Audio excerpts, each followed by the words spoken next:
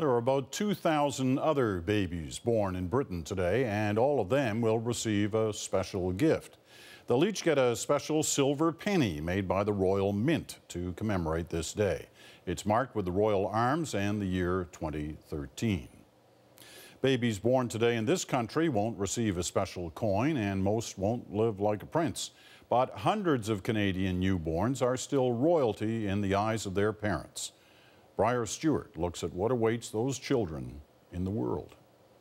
As little Landon made his way into the world, there wasn't a media circus waiting. But during the two hour drive to the hospital, his parents were on someone's radar. Pretty exciting until I seen some red and blue lights behind me. But The couple was actually pulled over for speeding, but quickly led on their way. Landon was born at 6 this morning.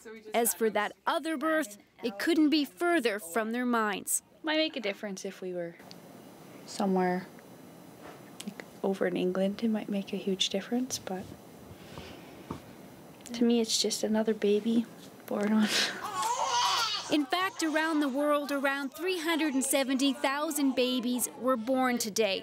Many of them, even in Canada, will face difficulties the royal baby will never know. There's so much more challenges and barriers that our teen parents face as opposed to what somebody like Kate Middleton would be would be facing.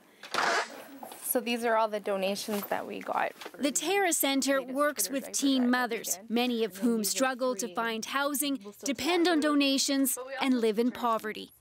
The definition of poverty is different when you're single as compared to when you're single with a child. So, and being a teen parent facing even more barriers, it's a really difficult situation that they're in. So we try and help them as much as possible. Globally, the picture is much more dire. According to Save the Children, every year 1 million babies die the very day they're born. Children who do grow up in developing countries face malnutrition, disease, and earlier death. Sierra Leone has the lowest life expectancy, just 47 years old.